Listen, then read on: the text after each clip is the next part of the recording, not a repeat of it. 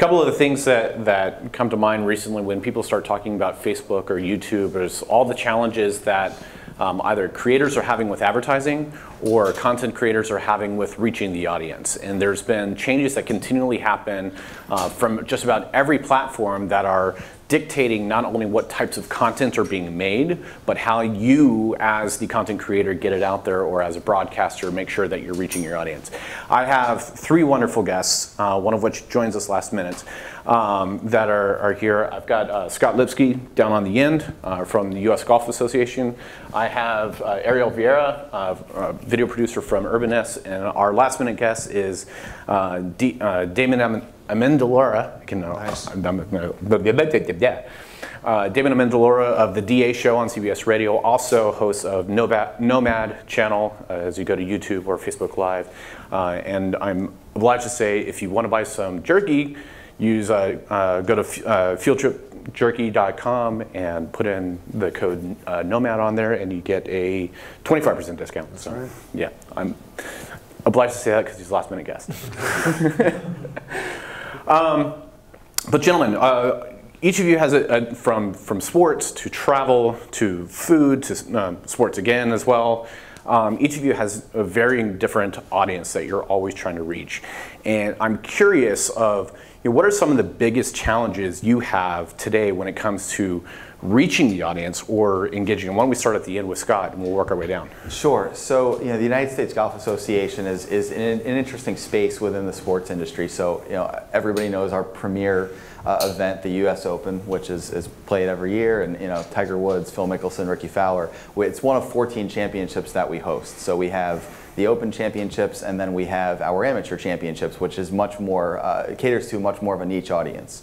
Uh, and so that's sort of a challenge for us. We have two channels. We have our U.S. Open channels, which is, is all about that championship on Twitter, Facebook, and Instagram. And then we have our, our Enterprise USGA channels, uh, which is about all of our championships plus a lot of our non-championship items. And you know, it's interesting you're trying to strike the right balance. So we had a, a smaller non-televised championship last week, and we're posting content about that, and we're streaming live to an audience that has mostly opted in for the U.S. Open, for rule, the rules of golf, for course care, for things that, that appeal to a much broader audience. And so we're really trying to strike the balance of okay, we know that there's a small niche audience that really wants to watch this content, but it's a much smaller audience than, than uh, the reason people tune in for our content for the most part.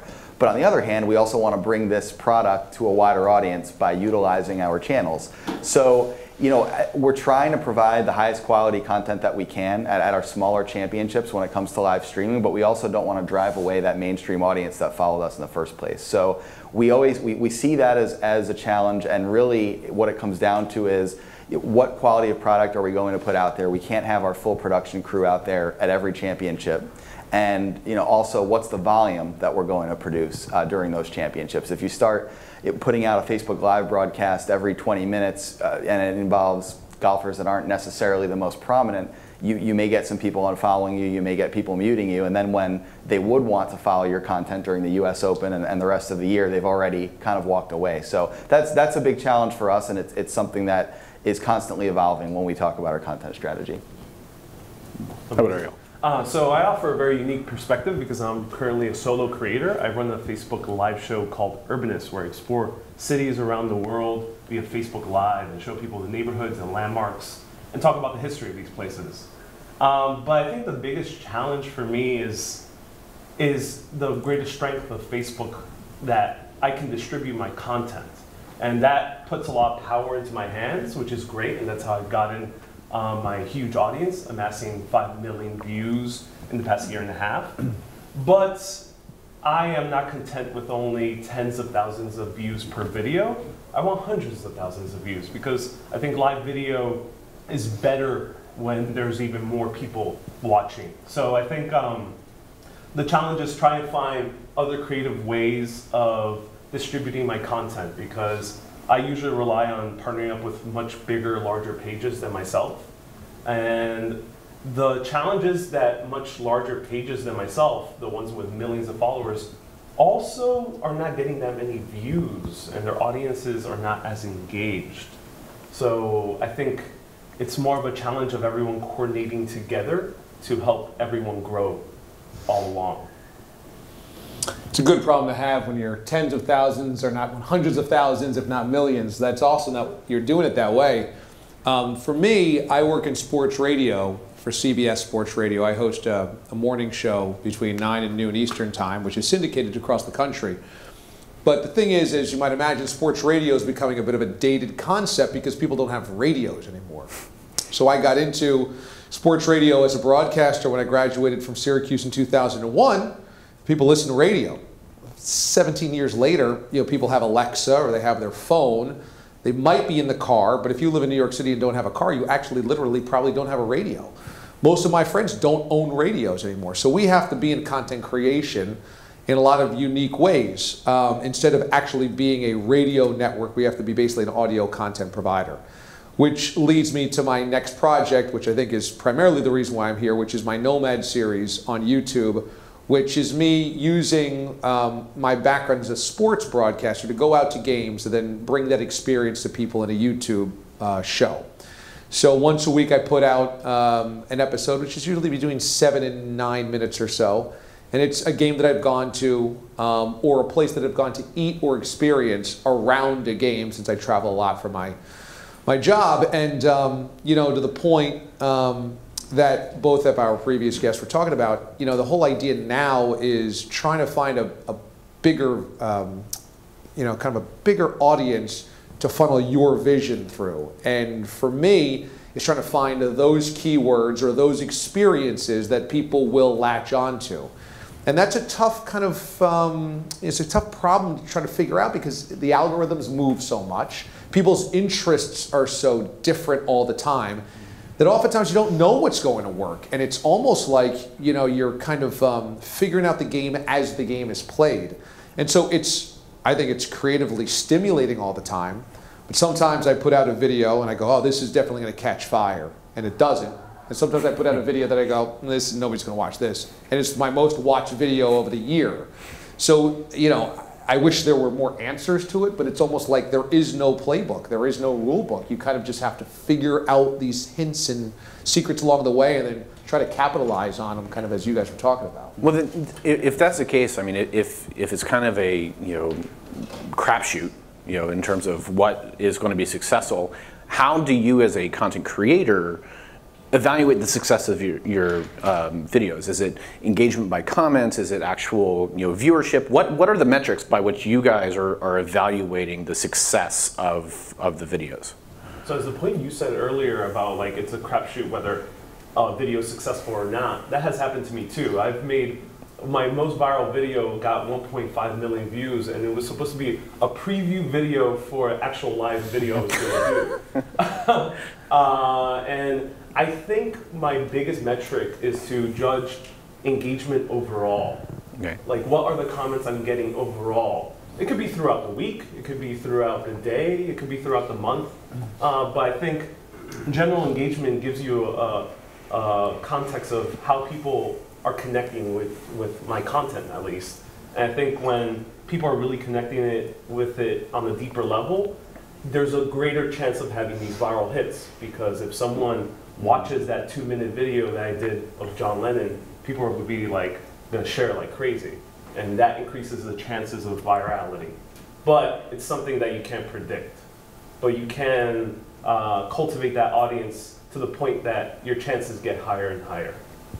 I think, you know, we, we talk a lot about, you know, not wanting to have passive engagement. You know, I think uh, it's really easy to pick up a view on Facebook. Uh, I think we really like to see, especially during a live broadcast, people commenting and then people replying to comments. I think that's when you're really starting to see really true engagement and it's really something that, it's, it's a piece of content that's catching enough interest where you know, people are not only just commenting on the video, this is good, this is bad, I agree, I disagree, but it's really sparking conversation. And I think that sort of goes hand in hand uh, with where the Facebook algorithm is going. At least we think so this week. Obviously, it changes. It changes constantly.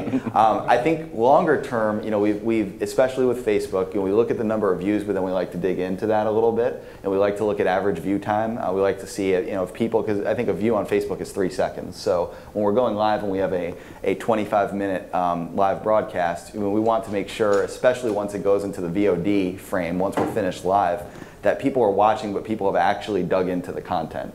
And I think beyond that, we're also looking at what our peak viewership was as well. We're, we're taking a look at, okay, throughout the 25 minutes that we were live, A, what was, what, what was the number of the most live viewers we had at one time, and how long were we able to sustain that? And I think that's, that's sort of where we go to say, okay, this content was good, and then we can see where our live viewers dropped off. And, and sometimes it's really easy to tell why, and sometimes it isn't. But um, yeah, I mean, you know, views really, really is our baseline, and then we like to dig a little bit deeper than that. Yeah, those are really good points. I know we create a lot of uh, online content, digital content for my radio show. It's got a simulcast from a digital standpoint, so you can watch it every day on a smart device, anything that's connected to the internet. And so we clip out a lot of those uh, clips and then put them on YouTube and put, post them on Facebook. And what you try to do is hit, at least for me, the stories of the day that people will probably be searching on YouTube or searching on Facebook as it happens. So sports figures that just had a big game, uh, sports games that were just um, you know interesting, stories that people are engaged in. But engagement is another big part of that. It's it's finding you know people that are commenting on things, people that are retweeting things when we embed them on Twitter. And then for my Nomad show, you know, one thing that's been an interesting lesson is it's a long play. You know, sometimes I'll put out a video and it'll be hot within the week because somebody's searching that game that I went to. They want to see highlights of that game or that game's in the consciousness. But my most viewed video actually didn't take off for months. It just kind of sat there. And then eventually, I think from word of mouth, passing it along, hey, this was really cool. It was actually a story that I did about um, a barbecue joint in Houston as I was covering the Super Bowl. And just because the barbecue joint had become kind of this uh, local interest story, they started becoming popular there, and then that spread out, and then it became part of the recommended views of YouTube's algorithm, and then that's when it started to take off. But that didn't happen until probably three months after I posted it. So it's um, you know it's one of those things where you got to be patient as well when you put out something. Sometimes it hits, sometimes it takes a while to hit. So, so some of that sounds like it. There's a little bit of a, a you know play on what type of content is actually being fed. Whether you know, one of my favorite videos that you have is is your uh, discussion you have with Art Garfunkel, right? And he's talking. I think the two of you are talking about the, the Simon and Garfunkel and stuff he said back in the past, and you've got him on record saying, you know, I I, I don't care about that shit. Um, but you know, does the type of content matter? I, I know Ariel, for you, it's a little. Um, different in terms of you know you're, you're going to a city and providing history, but I, I'd say for for Scott and, and for Damon, doesn't matter if you've got uh, Jordan Spieth uh, uh, hitting or, or, you're talking to maybe the general manager of uh, one of the clubs. Uh, does that content resonate more, or do you have to? Is it still kind of a, a crapshoot for what type of content is going to resonate for your audience? I've seen yeah, star power obviously matters. I mean, like we said, you know, we had we had the uh, U.S. Women's Amateur Four Ball last week, which uh, amateur golfers, great players, but not players you'll see on television that you know that are household names. Obviously, if we have a Jordan Spieth playing live, that's going to generate a lot more views and people will stay a lot longer.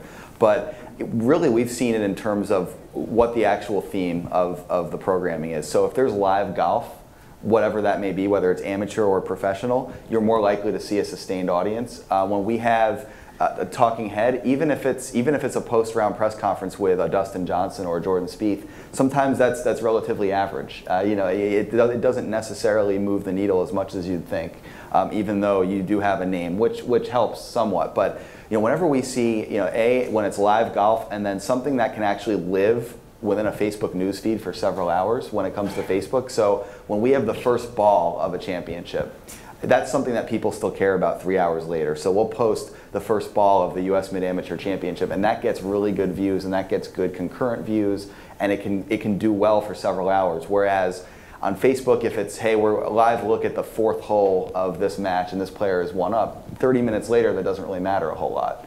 Uh, so for us, it's, it's really picking and choosing, you know, what, when it comes to Facebook, what item really has sustainability, uh, you know, what can last for a while. So if I see it in three or four hours, it's still of interest to me. So we've, we've sort of made some, some strategic decisions there that when it's something that has a shorter shelf life, you know, Twitter Periscope is a much stronger place for that. Whereas if it's something that's first ball, you know, an interview that might, you know, be of interest for, for some hours, that's something that goes on Facebook. How about you, Damon? Yes, star power name recognition is a big deal. um, because those are the things that people are searching. And you're always just trying to get into that Google search, you're trying to get into that Facebook search, you're trying to get into that YouTube search. The other thing, though, that's big is um, kind of the viral nature of what somebody says or what happens. So it could be a no name player or coach, not no name because we probably wouldn't have on a no name, but somebody that, you know, was of lesser interest. But if he says something really interesting or she says something really interesting, we try to clip that out, post that, and see if that will um, catch. And sometimes that does. So it's, it's really, you know, it's, it's kind of educated guesses. We kind of all have a sense of that would probably be interesting. That person said something that was interesting. That looks interesting. That will probably catch. And then you're kind of crossing your fingers that your instincts are right and what you've studied before is right and what has happened in the past is right. And sometimes you're right, sometimes you're not, but you kind of, the longer you do it, the more experience you have with it, the more you go, okay, this has worked before, so maybe we try to put this out again and maybe it'll work again. And I can partly speak to that because I don't depend too much on star power yet, but I, do depend on brand power. And I've like collaborated, I've focused on collaborating with these organizations that have pre-built audiences in order for me to get from their audience. So I've collaborated with people like Central Park or the Brooklyn Museum or Lincoln Center. And the great part of actually doing a live video with them is that similar to Star Power, you get access to their audience. Mm-hmm. And I think that's the best part about Facebook, specifically the platform, is that you can easily collaborate with other pages. It could be a, either a star, a sports star, or it could be a brand or organization. Well, it, it also helps. Yesterday, you know, Facebook announced uh, that the cross posting is going to be available for everyone. So if you're collaborating with a brand, you can always cross-post on the brand's page, as well as you know for USGA, if you have access to USGA golfers page, you post on their individual pages, and now you've got multiple audiences. You know, as many, I think they said up to 90 or so pages that you could cross-post at a, at a given time, which exponentially increases your potential reach, right? But I think part of reaching, even if you're cross-posting, is still the algorithms are changing and stuff might get hidden within the, the news feed or so so I guess one question was how do you what are your workarounds to to make sure that your audience sees it or the, the extended audience sees it if you're working with another brand, if you're working with a, an advertiser, if you're working with um, a, a, location or, or a golf club or, or anywhere, like how, how do you because not everybody has access to their own Facebook team or, or YouTube team. Not everybody has access to their own advertising budget today. But what are some of the work, workarounds? So I completely focus on workarounds because almost my entire reach is organic, and I don't have the budget to have ads, not yet. Um, so the workarounds I've done is coordinated with major pages to share my content. And that's major pages who enjoy my content or adds value to their audience as well. So I've collaborated with Atlas Obscura, NewYork.com, and many others to share my videos while I'm live. So I get direct access to their audience. And then the other workaround is the simplest thing, is saying, hey, if you like this video, share it with your friends and family if you want to show them the beauty of New York City. Saying that one little sentence gets people to share. And sharing gets access to their audiences. Mm-hmm. And it kind of ends up being a, a tumbling effect uh, where you can get more and more access depending on how engaged their own friend circles are. And if you go to certain countries, people tend to be a whole lot more engaged. I haven't been yet to the Philippines or Thailand, but I imagine once I go to those countries, it could be a spiraling effect because people there are really highly engaged on Facebook. That's, that's, that's interesting and, and a great workaround to say share because I know Facebook hates it now if you put that in their copy. Share they're just going to kick you all the way down the bottom of, uh, of the line. So luckily I mean, they can't read the, the video right, yet. Exactly. It's, it's coming probably yeah. Um, no I, you know, we, we certainly it's, it's, it's an ongoing conversation for us because you know we're, we're trying to find ways with everything that we post live or VOD or even if it's not video you know to basically try and get that conversation going, to ask a question within the copy, you know, to try and to try and put something out there that is intriguing enough, and maybe it's not even the most likable thing, but it's something people are going to respond to. You know, the rules of golf for us, a very, you know, a, a very enigmatic topic. Some people agree with a lot of it. A lot of people have opinions that are not so positive. But you know, if we post something, we have a show called Rules Live every month, and people are going to comment and they're going to tell us whether they agree or disagree with what we're talking about. Or, you know, I like the new rules that are coming out, I don't. Um, that gets people talking, and, you know, we, we really want to keep that conversation going. So, I mean, that's a work, I guess, a workaround for us. It's, it's just a tactic that we're utilizing right now to make sure that people are, are talking about our content and not necessarily just trying to get them to like it or to click on a link. We are also very fortunate to have the, the ability to do some paid, um, some paid social, and especially when it comes to our live shows and when it comes to some of our VOD uh, video series that we have. You know, we'll, we'll put some money behind that with our partners. You know, as Facebook has, has said numerous times, with this change in the algorithm, paid is not really going to be impacted. So we're able to, to reach the audience that we want to reach. If we feel like it's a significant enough piece of content, we do we do put some budget behind that. But it, it's true, you know, I, I wish I had a, an answer as far as what workarounds are we using that work all the time with organic, and it, it, we have noticed in the last three or four months it has been it has been challenging to get the reach that we want. I think our biggest workaround is keywords because we, you know, my my format is so about the news of the day. Mm-hmm. We talk about the sports topics of the day, um, and then for my my online show, um, Nomad, I'm trying to capture what is interesting, you know, as soon as possible. That just we're constantly working on. Okay, what works well? Do we ask questions in the title? Um, you know, how do we just kind of ride the wave of what people are searching that day mm-hmm. or what people are searching that week. And it's a never ending kind of puzzle to try to put together, but keywords are so important, especially, you know, when you're creating YouTube videos in the descriptions and then your tag words that people would end up, you know, searching when they go there and uh, just trying to consistently drill down the, to how people how people ask questions online how they respond to questions online, what they're looking for online, and just trying to like pick that out and put it into what your content is. Is there any boosting that happens after after the fact? Because, you know, for example, you mentioned the Houston barbecue joint, and uh, say you know uh, the Rockets had won, and, Houston as a city is going to be big in uh, search uh, right now, or, or you know whatever happens. Um, can they? Do you do any boosting after the fact to say, hey, I'm, I, have got this whole thing about Houston, people are going to be searching about it, and I'm, I'm going to advertise it, or likewise, any of the other events or something that's happening in the news to bring up past articles or past episodes to say, like, hey, this is something that I could advertise or boost, or, or at least, hey, remember this, and share again so it become, comes back up to the top of the feed? Yeah, I haven't done the sponsored post that way, but I have reposted things to my timeline on Twitter mm-hmm. or on Facebook, um, reminded people, hey, we did this a couple of months ago, or we talked about this, or check this out, when yes, it's in the news again.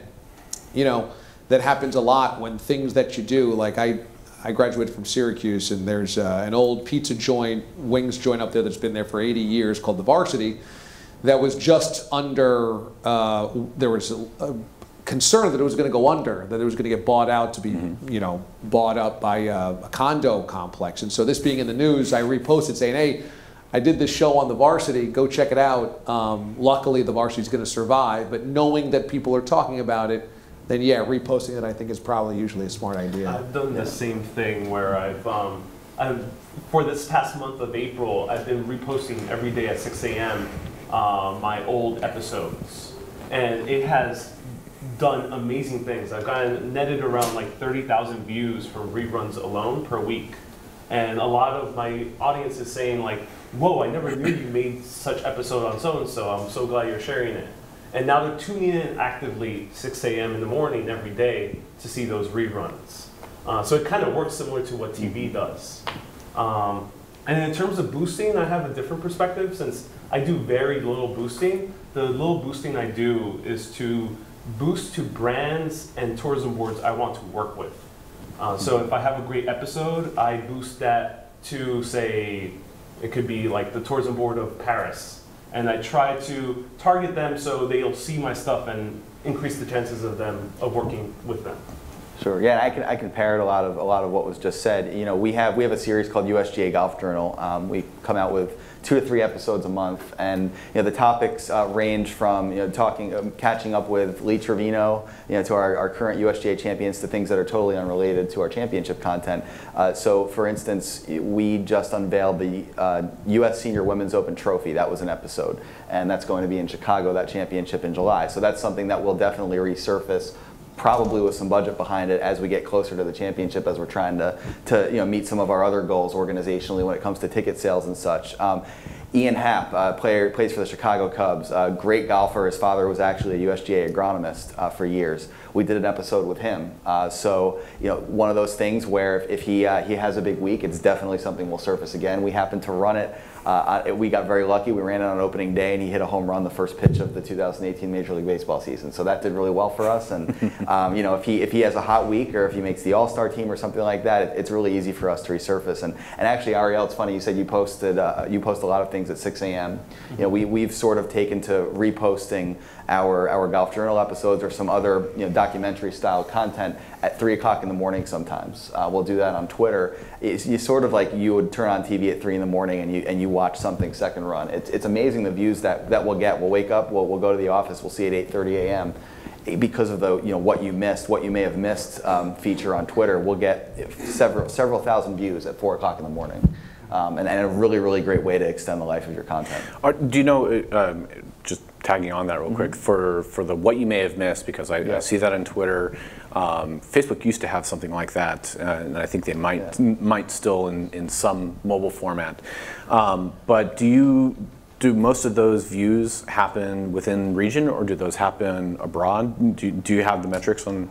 Uh, we haven't, you know what, it's, it's, something we haven't dug into as much. I know that we will post content sometimes in the middle of the night, we just did it yesterday, if it is something that is, is more appealing to a different part of the country. We had mm-hmm. our, we had a qualifier for the US Women's Open in Japan, and we actually posted you know, a photo of that with the results last night at 3 a.m. So we definitely, we definitely look to do that. Um, whether or not it has that big of an impact and whether people overseas are watching and viewing uh, during that time of the evening, um, I, I, don't think we've, we've really gone as deep as we should on that. But I, I think it's fair to say that it does have some impact. Uh, one thing I've noticed with Facebook is that they roll out posts throughout the day if it's mm-hmm. not live. So if you're resharing something, you can, I can reshare at 6 a.m. That uh, person across the world might see it later on at 9 p.m. Right. And it tends to happen just because of what the Facebook algorithm is doing. Right, and they've, they've got the in the news section versus the most recent. So it's like whichever selection on that news feed, you know, uh, or, or, or, popular posts, like they, will automatically boost something that's popular within your yeah. network of friends and, and likes and. And, uh, and from the end user's perspective, they have no idea that you reposted it hours ago.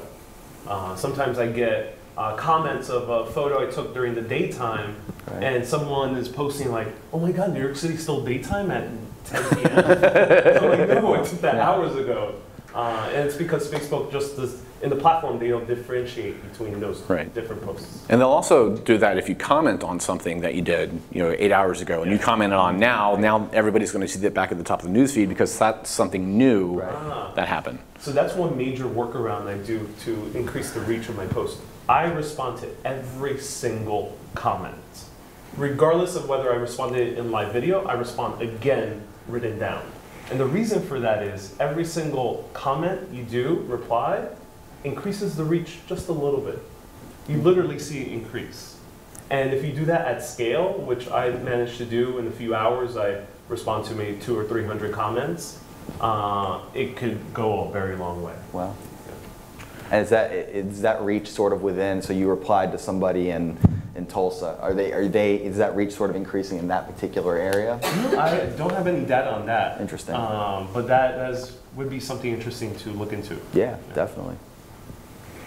So um, one thing that we talked, we've talked about a bit is collaboration, and I'm curious: is there an amount of collaboration, pre-planned collaboration in uh, we've talked about coordinated sharing, we've talked about the brands, but in terms of um, how, do you, how do you get the audience, how do you get the advertiser, how do you get the um, type of, of um, fandom, um, how, do you, how do you try to attract those uh, for the content that you're creating in order to, to maximize that reach?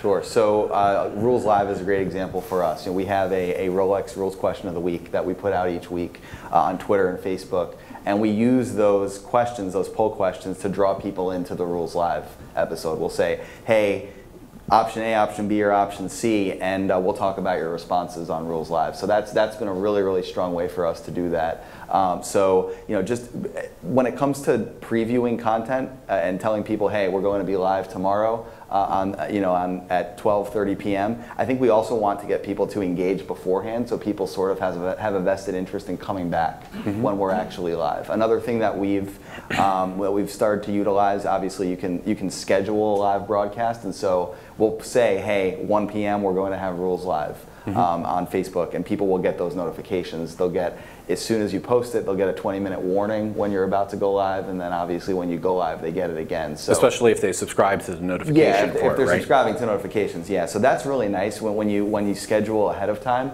It gives people not only do people see it within their news feed, but people that have subscribed to your notifications, they have a heads up rather than just being hit with, hey, they're now live, and you know it may not be something they can get to right away. So that's been that's been a big help for us as well. Mm, I, I've gotten mostly my fandom because I'm the face of all my content. so, I, I can't do that with this face. so they, they just like like following me for various reasons. It could be a bunch of different reasons. They might like the history, the stories I tell. They might uh, like my humor. They might like um, just listening to my voice. Some some people say they don't even watch the video. They li- just listen to it like if it were a podcast. Um, but how do I engage a fandom of some other company I'm collaborating with? So if I'm collaborating with a major media brand like Atlas Obscura, I tailor that video to engage Atlas Obscura's audience. So for me, I talk about history in a general perspective, more about travel and mm-hmm. cities. But if Atlas Obscura, they cover more about like dark things and macabre and weird stuff. So I just do a Central Park tour and talk about the dark secrets of Central Park. And that's how I engage their audience because that uh, their audience already wants that and they then they learn about me and it just goes into that middle of the Venn diagram where everyone's happy. Yeah. Yeah, I think for us, uh, fit is really important because if we have a sponsor that doesn't really fit the audience, it doesn't really ever get effective. Right. So you've got to figure out an aud- you've got to figure out a brand that works with the people that you know are watching and really hitting that what we call P1 demographic. P1s are the ones that are there with you every single day. Making sure those people are served by your brand, and so then naturally when you talk about them, it makes sense. You know, we have um, on my sports radio show, every time Burger King puts out a new crazy sandwich, they come on the show. They want us to try it. Guess what? That hits our target demographic pretty good. Sports fans that want to eat crazy, weird hamburgers. Um, you know, this week um, we are promoting um, a, a berry company to send berries for Mother's Day. We have it on Valentine's Day the week before and Mother's Day the week before. Guess what? A lot of men are listening. They go, "Oh yeah, crap! It's Mother's Day. I got to get something," um, or it's uh, you know Valentine's Day. Let me get something. And that's our read. Our That read reminds me- is it's coming up. Mother's Day's coming up. This is an easy way to get a fix. Yeah, that reminds me, I've, I've been on the road for three weeks. I need to get my wife something. Yeah. so those fits are obvious. And um, I think also consistency, like you guys are talking about, is so important as well. Making sure the audience knows when to expect what you're going to deliver. And those schedules are really important because on Tuesdays we do something different than we do on Fridays. The longer you do that, the more the audience expects, okay, this is what's coming in, and then I can engage because I know it's supposed to happen. So, so actually, scheduling is an interesting thing because, you know, the, they, Facebook talked about frame accurate start times and actually the, the amount of time that you have on, you know, a slate, something that's running and trying to build the audience before you go live. Is that something that's that's necessary, or do you try to capitalize on the audience right away? We've we've promoted that we're going to go live at, at um, uh, three o'clock in the afternoon. We've put out the notifications. Facebook's put out the notifications. So I'm hoping that my audience is there, or are you still waiting a little bit for that audience to build before you go live and into the story, into the, the live shot, or into uh, whatever you're covering? So I actually do in a very counterintuitive approach. Everyone wants the huge like surprise. Everyone is like, "Hey guys!" I don't do that.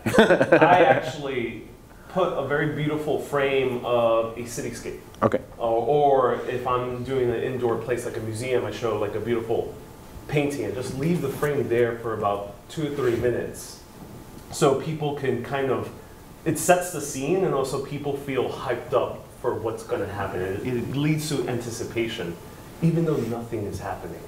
And it's great because it gives me the opportunity also on the side to share to various pages and groups on my secondary phone.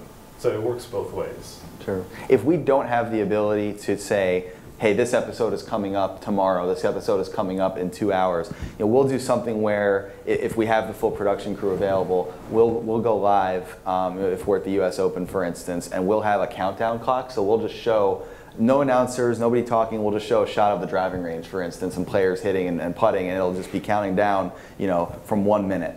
And so people know, or, or we'll go up two or three minutes ahead of time, you know, to build an audience, to let people know, hey, you know, this is not just a, a slate that says we'll be back shortly. People know what they're watching, they know what they're going to get. If we can, we'll have sort of on the left side, you know, sort of like you would see on a Pardon the Interruption, here are the two or three things we're going to talk about. And uh, people know when it's coming, and, and uh, it allows us to build an audience and sustain that. But to your audience, it's also live golf, right? It's, Correct. it's the driving range, but it's still live golf. Correct. And that's and, and what I just referred to is it's um, that's generally when we're going to do like a live from sort of a deal. If it's live golf and, and hey we have uh, Tiger Woods out on the tenth hole, we're, we're just going live. It's one of those deals where you know especially when we're at a smaller championship and we don't have a full crew, it's when our producer can get out there and can go live. And you know if we try and try and wait an extra five or six minutes, we might miss something. So you know if it's especially if, it, if it's Periscope if someone's out there and hey, these two groups are here and they're hitting their approach shots, we're going to go live and, and we'll try and just talk it up a little bit as the players are walking to the green, give people some background information. So maybe, given especially with Periscope, we're generally using an iPhone, so the, the picture quality is not what you would see with a full production quality crew. We're giving background information, people understand that action is going to happen, even if we have a minute or two in which you can't see the players yet. So it's really important for us to keep people engaged rather than have people walk away, especially when we don't have that full, that full experience that we can provide. Yeah, I like the idea of uh, building suspense with both the countdown clock and you just holding that shot. Because, you know, that's kind of why that element of danger, that element of what's going to happen, the element of suspense is what keeps people coming back for so many different things. It's, it's live television, it's live radio, it's live internet content, whatever that is, that you don't know what's going to happen or when it's going to start brings people in because things that are that feel canned or um, totally produced front to center don't have the same kind of edge to them. So I think those are really great ideas to, to help create content. So one, uh, one final question I'm, I have, you know, I'm going to open it up for some additional questions for everybody else, is does the, the quality of the content matter? Meaning, does shooting on a phone, shooting on an Osmo, shooting on a 4K camera, having a full production uh, rig, does that matter for, you've got video on demand content that's going up to, to YouTube, to live content, like, does that quality matter for getting your audience?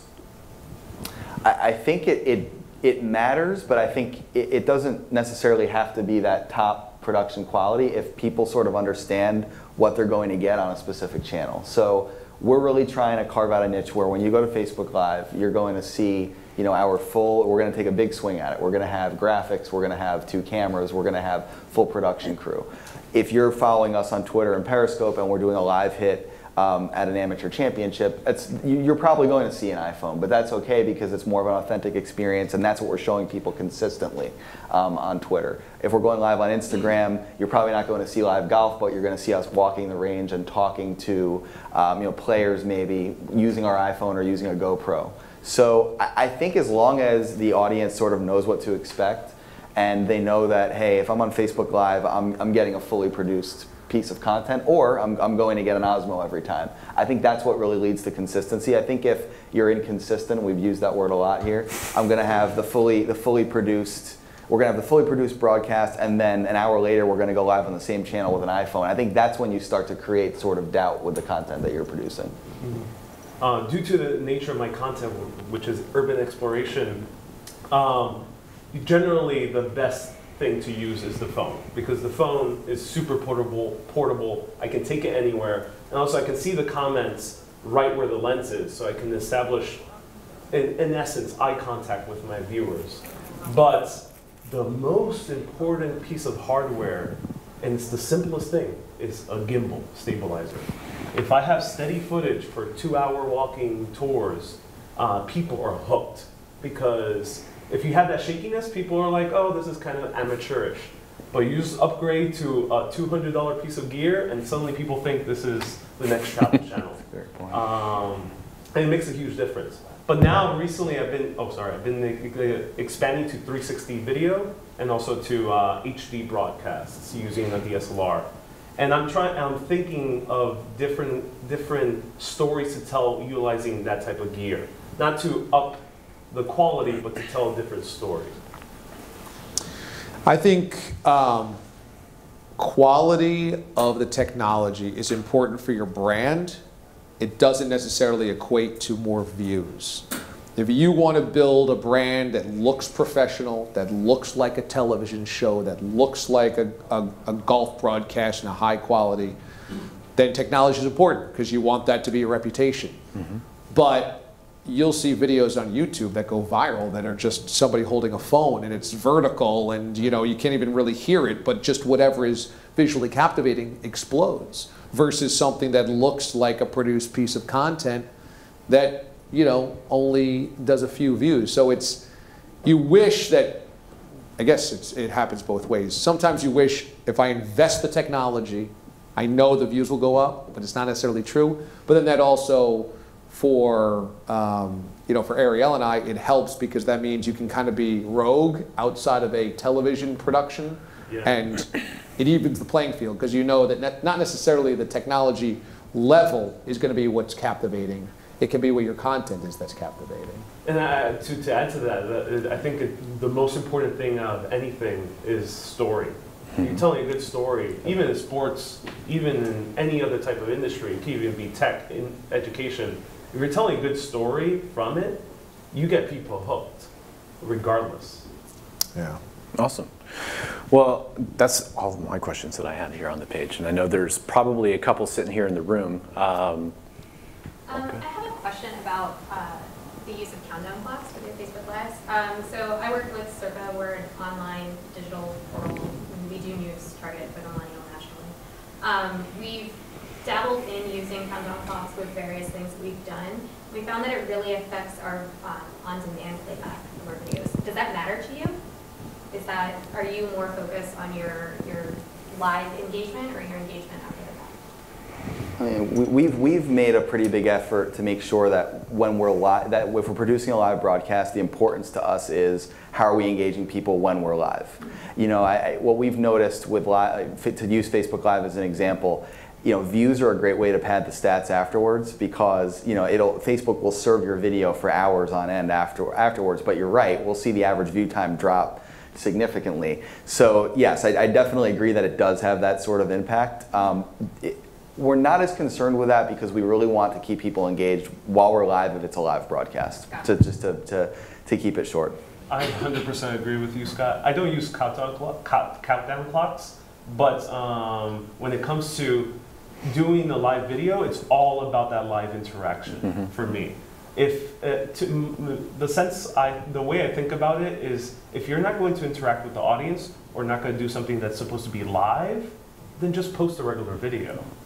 Uh, there's no point in making it live.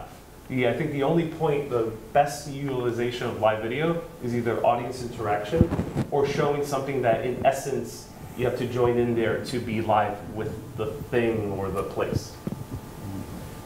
It, one thing uh, to add on to that is if you end up clipping the countdown clock at the very beginning, and in order to have kind of a frame accurate start or something that looks like, hey, we're live now. Yeah. If you do that after the fact and you have to repost it, you end up losing all of the Yeah, comments and engagements yeah. and everything that happens in the show. So, so that's one thing, and especially if you're saving it locally.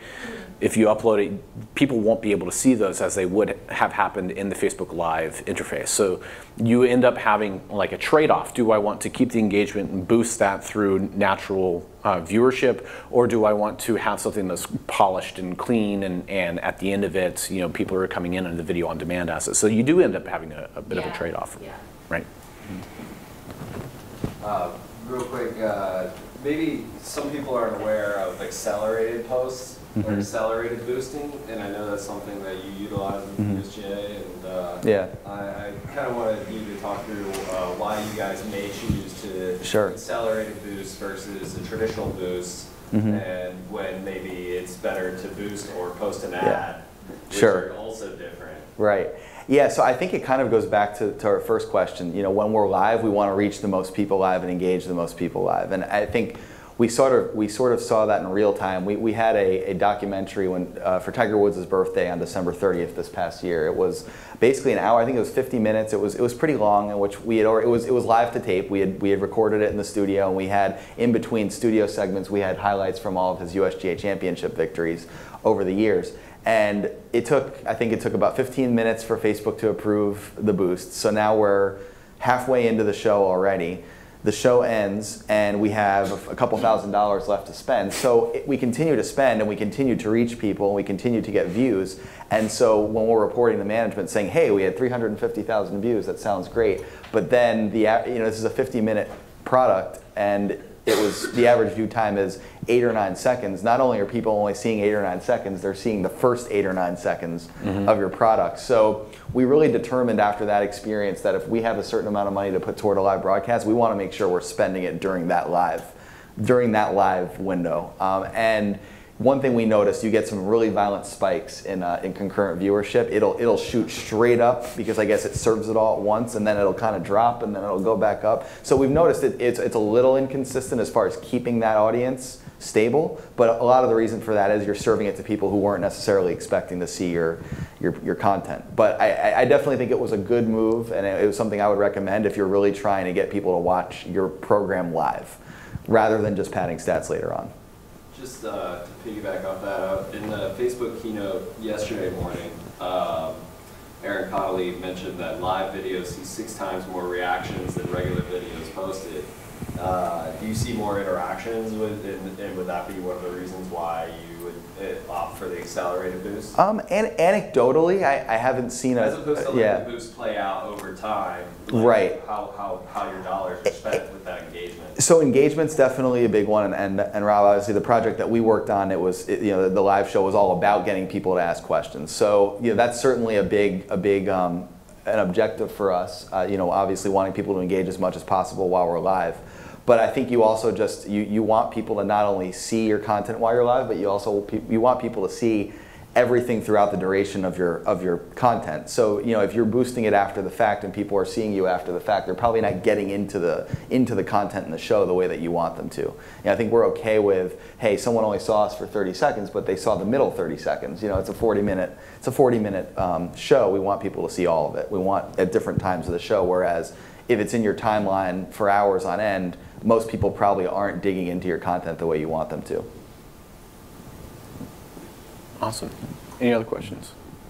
I'm not sure if you heard in the keynote or otherwise about the new announcement for uh, Facebook um, uh, watch parties and Facebook uh, premieres. Uh, Do you have any initial reactions or excitement or thoughts on how you might use that in your respective spaces? I personally love it. Um, I consider myself first and foremost a filmmaker, and my long-term goal with Urbanist is to make two-hour documentaries. And I think to be able to post a two-hour documentary on Facebook and have a bunch of people tune in as if it were live and they call chat about it, I think that's super exciting. It makes it it makes it's replicating the theater slash TV experience on uh, online platform. Um, so I think there's a lot of room for awesome things to happen from that. Yeah, I, I like the idea. I haven't heard too much about it, but I, I really like the concept because, you know, in my space, um, in, in the sports world, so much of the sports experience now happens by using Twitter or Facebook in front of you as you watch a game. Or this happens with a Game of Thrones or an episode of uh, the Emmys or, you know, things that happen, in the communal experience of being able to react with other people through comments, tweets, things like this as it's happening is a huge part of the experience now. So I think Facebook's probably trying to tap into that. Twitter's become a, a way to feel like you're watching a game at a sports bar because everybody's talking about this game constantly. Um, and that happens with TV shows, obviously, as I mentioned as well. So I, I think it's cool and creating content for moments like that, knowing that people are consuming it together and responding together, I think can only be a cool modern way to be digesting that type of content. And, and I think you know what Facebook is doing, and watch parties being a great example, but then also just Facebook Watch in general, they're giving people a place where it's or brands where it's okay to produce long form content. I mean, mm-hmm. we talk about the biggest challenge we have when we produce a really great five or six or seven minute piece.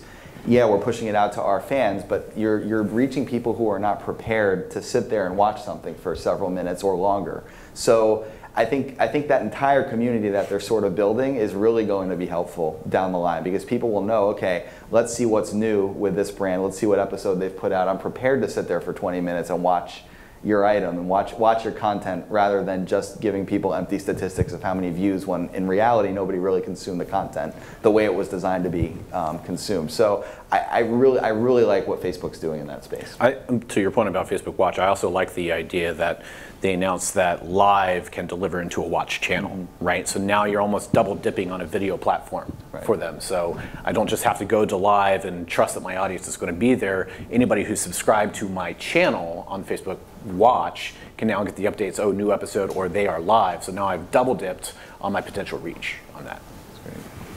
What about groups? Are any of you utilizing groups in any way? Ariel, maybe? It seems like a Yeah. natural fit for you. It's my it's one of my biggest uh, pathways for distribution. So I focus on sharing to groups while I'm live.